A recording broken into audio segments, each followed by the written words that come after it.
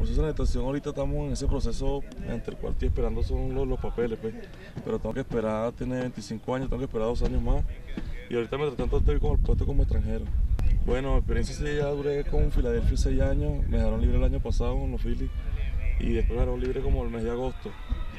Y ahí vine hacia acá, hacia México, por mi abogado y estaba pichando en el Pacífico con Mochi.